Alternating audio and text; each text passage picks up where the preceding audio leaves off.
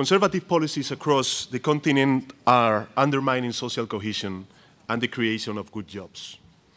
Here in Spain, Rajoy's policies are far from solving the problems of structural and youth unemployment. On the contrary, only creating precarious and low-paid jobs, generating millions of working poor and increasing inequality to unprecedented levels.